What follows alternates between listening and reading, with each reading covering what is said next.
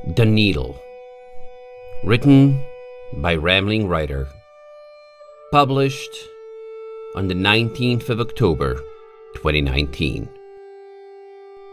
Chapter 12 The Divide. Lunch and a little bit of relaxation gave Daring a jolt of determination. After that pillar, she was so close to finding the secret of Needle Vale. So close. She could feel it in her bones. Or was that her mind acting up again? But the negative feeling was soon gone. She'd find the answer soon enough. Once she reached the other end of the valley, she'd either have something to study or a decent story about how she was the first pony to plumb the depths of Needle Vale. If she discounted that facility, anyway. Daring stood up and flexed her wings. He'd been sitting around long enough, Ready to go? Sure. said Windrose. I think we've. Then she frowned. She looked around the makeshift campsite over and over as if she was missing something important. It's just us two? Sure. Daring said. Same way it's been for the past week. Why? I don't know. Windrose rubbed her head. This doesn't feel right. Why not? Dunno. It's. Never mind. I'll get the fire. But while Daring stopped minding, she could tell Windrose didn't. As they headed north, Daring kept an ear tilted back, occasionally picking up low mutterings from Windrose. She couldn't make sense of it. Something about memory and being introverted. Well, Windrose would bring it up if it was important. The trees were growing denser, and Daring couldn't tell why. By now, it almost resembled a proper forest. But the trees felt like rough splinters sticking up out of the ground as if simply brushing against them would get Daring stabbed with needles in a dozen places. The valley was beginning to feel threateningly empty in that way only forests can. No one visible, yet dozens of places to hide and watch.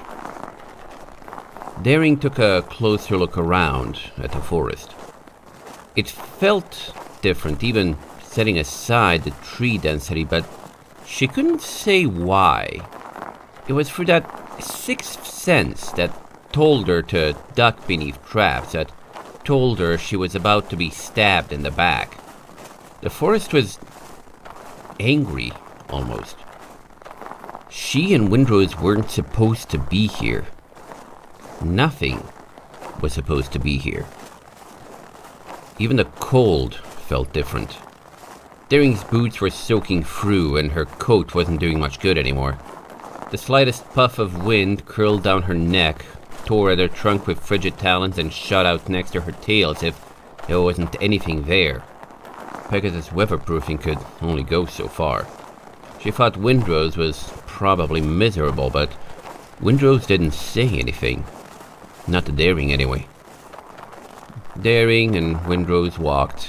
The snow crunched, the sun lowered. Windrose muttered to herself. The wind blew. Shadows lengthened. Their minuscule group felt oddly empty. They needed at least one more person, Daring thought. An adventuring party with only two people was strange. Three was better for conversation, keeping eyes out for detail, keeping watch at night, if it came to that, and so on. When she only hired one other person to help, she might as well have just gone by herself. It'd definitely be. Oh, shit. whispered Windrose, her footsteps tumbling to a stop. Daring twitched at Windrose's voice, but she didn't look back. Notice something? She asked, we need to stop now. said Windrose. Please. Why? You wouldn't b- believe me. We can't keep moving. Walking and talking's not that. Daring, if you don't stop right this second, I swear to Celestia and Luna both, I'll break your legs. It was Windrose's voice that did it. It was hard, solid, aggressive, hostile. Daring had heard weaker threats from crime lords. She almost stumbled as she came to a halt, It wouldn't have surprised her to see Windrose casually swinging a sledgehammer to make good on her promise. But Windrose didn't look angry. She looked scared out of her mind. Her eyes were wide, her legs were shaking, and she was breathing heavily. When she collapsed onto her rump, all Daring could do was blink in surprise. Whoa, are you okay? Windrose giggled nervously. Nope, nope, not at all. Nope. This will sound crazy, but just hear me out, okay? You don't need anything? Windrose's voice grew steadier as she said, Only for you to listen to me. she took a deep breath. Why did you hire me? Mm, Daring cocked her head. You needed the money and volunteered, plus you were a cartographer. How did I know you were heading out? Why did you hire me and only me? Well, you. But somehow, when Daring thought back to when she'd met Windrose, she came up with just a vague haze. I. don't know. In fact, an awful lot of her time in Light's Edge was a vague haze. It was like her memories had been badly blotted and crudely rewritten. Must have had a lot of beer to drink. Did you actually get beer or whiskey or any sort of liquor? Snapped Windrose. Or did you get something warm and dry like spiced cider or hot cocoa? Because you came from way down south. And after I've spent days traipsing through the frozen north non-stop, the last thing I want to do is feel woozy from alcohol. Um, Yet Daring clearly remembered ordering hot cider. After that, the bartender had directed her to a corner where. And then everything turned hazy again. Windrose didn't wait for an answer. See, I'm. My initiative's not the greatest. I wouldn't have just walked up to a stranger and started talking about getting hired. She started making shaky gestures. But maybe if if I'd heard you talking to somebody, can you remember trying to hire any I don't know, freelancers or something? Daring had asked the bartender for some tips and then nothing. She spent an entire day lounging around after that, something she normally wouldn't do unless she was waiting for someone. But who or what was she waiting for? She couldn't remember. Her conclusion must have shown on her face because Windrose said, You can't, can you? She started pacing, waving her hoof at nothing in particular. So I can't remember how we met. She continued, her voice growing in speed and pitch. And I don't even see how we could have met if you hadn't been talking to someone else. Then, there's all the rough and tumble adventurers you could have hired in Light's Edge, and for some reason you only go with a single cartographer? She stopped pacing and looked Daring in the eye. We came in here with other people. I know we did. We had to. I wouldn't be here if we hadn't. And I don't remember anything about them. They. I don't think they exist anymore. They never did. A little warning flag went up in Daring's head. Maybe Windrose was just talking crazy. But if she wasn't, you think Needle Vale's rewriting history? Daring asked. Or something. Windrose rubbed the back of her neck and looked away. I know it sounds crazy, but I never would have come out here alone. I get holes in my memory whenever I try to remember what I was doing when I met you, or at other times in the past week. I mean, how do we get back to our bags after that wolf attack? If Daring had been somebody else, she probably would have dismissed the idea out of hoof. But she'd seen too much weird stuff in her time for that. And once she accepted that, it made far too much sense. The gaps in her memory, heading into Needle Vale with only her cartographer, her behavior in Light's Edge. It felt like she was missing something because she was missing something. Someone. Daring fought, trying to remember a name, any name. But she came up with nothing every time. She only remembered herself and Windrose. Sometimes she caught strange spots where there should have been someone else, yet wasn't. She'd hired others. She wouldn't have done it any other way, and And now they were gone. Because they'd followed her in. Eventually, Daring got enough control over herself to swallow. Just to play Draconequus's advocate, She said, sounding not quite as nervous as she felt. you don't think that maybe it's just our memories that are getting messed up and. No, it's way worse than that. Windrose said quietly. It's not just things in this valley. How many other groups have come in here and vanished? And Daring swore she felt her heart stop. However many people she'd taken in here, they were gone now, like they'd never existed. All of them except Windrose. There was an entire equestrian facility set up to study the place stocked, yet unstaffed. That cave at the tail end of the valley hadn't been hard to find if you were persistent. The weather wasn't even that bad once you got used to it. And yet, somehow, everyone in Light's Edge had said that no one found anything in Needle Vale, That no one vanished in Needle Vale. But that was only true for people they remembered, wasn't it? Windrose was still talking, pointing out the obvious. I I mean, do you really think you're the first pony who'll boy, give it the old call a try and really get it done this time? The first one who's that determined? The first one to make it this far? The first one that She gestured at Daring while shaking hoof. we need to leave now before before anything happens to us. She looked around the forest and pulled her cloak tight. How long had this place been swallowing ponies and reindeer up? Decades? Centuries? Even longer? Stories about Needle Vale went back to before Celestia and Luna taking the throne. Surely somebody would have taken it upon themselves to investigate, and and then they'd vanish, and no one would remember them anymore.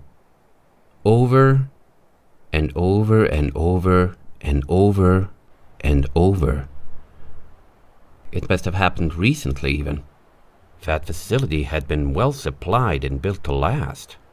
Celestia had known something was up, so she had a station set up to monitor it, and then. Had they all gone at once? Or slowly? One by one? She settled down onto her rump and took long, deep breaths. It felt like the air was crushing her. It was one thing to see someone die in front of her, it was another to realize reality itself had apparently decided to forget them. It was. Daring couldn't put it into words. Wrong. Like the universe was lying to her, and she had no evidence against it. But maybe. Daring dove for her bag and started throwing things out. Where was her journal? Where was it? Where was it? Where was it? It's not gonna help, whatever you're looking for. Windrose said humorlessly. This is Not that. said Daring. Her journal was mashed at the bottom of her bags, Maybe if I wrote something about them. but the only names in the journal were hers and Windrose's. Her writing felt stilted, like some pony was trying to imitate her and doing a poor job of it. It wasn't just their memories the others were missing from. It was probably everything. Not just here either, but far, far beyond the valley. All traces of them. Whoever they were, gone. Wiped from history. they're not there, are they? Windrose's voice was devoid of hope. Daring felt like she was being judged and found wanting as she put the journal away again. No. If we stay in here, Windrose said. it's only a matter of time before We can't leave. Daring heard herself say. Not yet. Silence fell. The wind didn't blow. When Windrose blinked, Daring wasn't sure she couldn't hear it. I I'm sorry. What? asked Windrose. One of her ears was so far back it was nearly pointing straight down. But you we There's still something in here. Daring insisted. But she wasn't feeling it. If we can find it, we can put a stop to this, and no one will vanish again. Her words were hollow. Was she just a glutton for punishment? You know what else can do that! snapped Windrose. A great big sign that says, She swept her hooves wide. If you enter here, you will definitely die! We go back, tell everyone, and the place is sealed off. Done! Daring wondered if her desire to stay back was reflexive, born from a prior lifetime of not knowing when to quit. Of course, then, everything had worked out just fine. But if I. we don't find anything, everyone else who came here will have vanished for nothing. There's nothing out here! Screamed Windrose. We came to this place, and all that's happened since is. is. Oh, Celestia. She collapsed onto the ground. She turned her face towards Daring, but her eyes were unfocused, like seeing was too much effort. I'm gonna die out here. She said tonelessly. Sobs racked her chest. I'm. I'm gonna die, and. and no pony's even gonna r- remember me. Not even my. Family. Tears trickled down her face. I. I just. I, I just wanted to make some sunblasting money! Listen, Daring said. it. She shuffled from hoof to hoof, awkwardly staring at the ground. She walked up to Windrose and laid a hoof on her shoulder. it'll be. Windrose swung, catching Daring in the jaw. Daring toppled away into the snow. You get the fuck away from me! Windrose roared. This is your fault! You brought us out here. You didn't turn around. You're the only other one left. Nothing would have happened if not for you! I didn't know.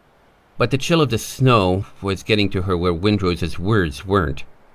She didn't know, but the decision to keep moving after the amnesiatic episode was on her. Any others would have been hers too. When had her other team members vanished? Where? Had anything strange happened then? I didn't think. Her voice trailed into silence. She didn't know Needle Vale would erase them from history, and even with her memories getting yanked from her mind, she'd still assumed she could handle it. How many times did I say that we needed to turn around? Windrose asked. Six? Seven? Maybe ten times that, and we just can't remember. I told you something was up, and you said that was the point, and now you're. Windrose suddenly stopped talking and turned as still as a statue. She stared at Daring, her eyes filled with determination. I'm going back. Goodbye. She said decisively. She turned around and walked south. Wait, hold on! Daring quickly flew around and landed in front of Windrose, What are you doing? I'm going back to Light's Edge alone, said Windrose calmly. and I'll rip your wings off if you try to stop me. She pushed Daring aside and kept walking. I only came for the money. You didn't pay me enough to die. But. Yet Daring knew nothing she could say would slow Windrose down. It was for the best, probably. She didn't want to be here. Why try keeping her? She took a deep breath. Fine. Be seeing you. What else was she supposed to say? She turned her back on Windrose and headed north. And you're still walking? Yelled Windrose. Don't bother! There's nothing up there! But oh, you don't care, do you? You're just so close. Just like you've been for the past week.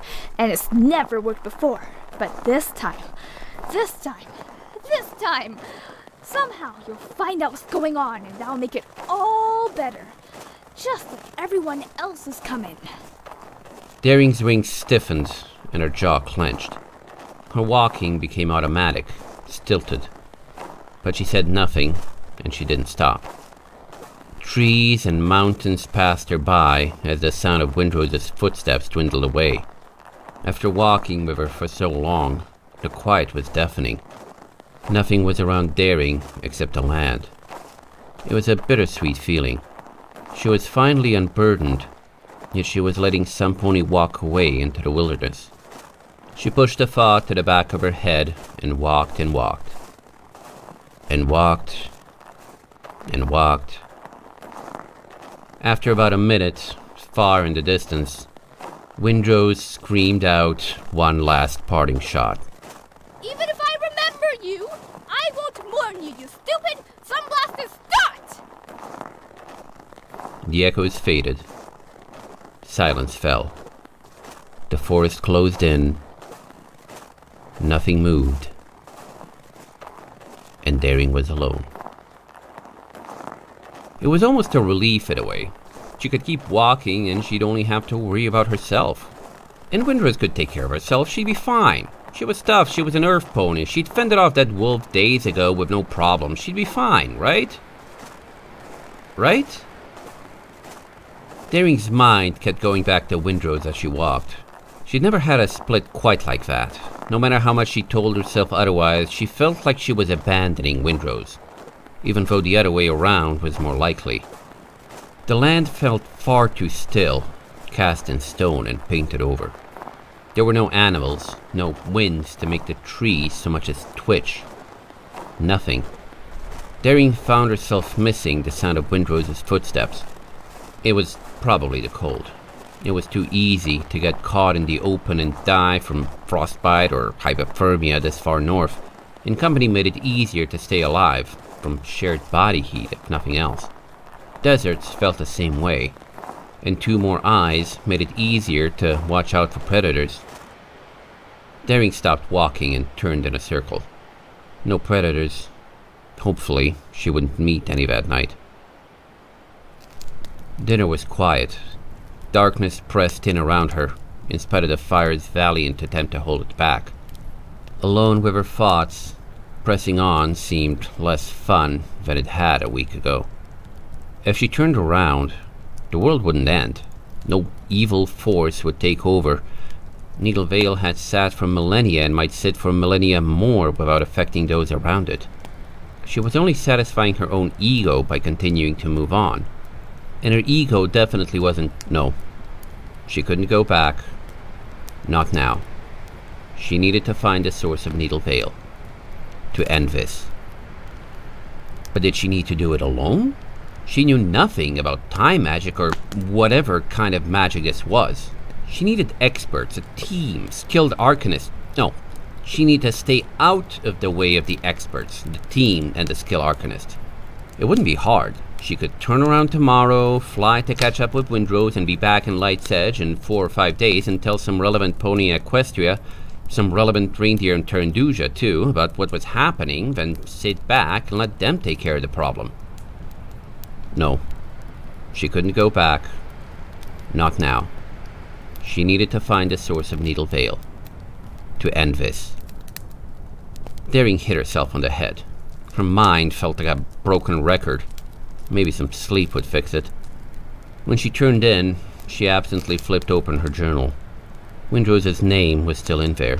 She knew she had to record what she'd found on the very off chance someone else found it, but she didn't feel like it.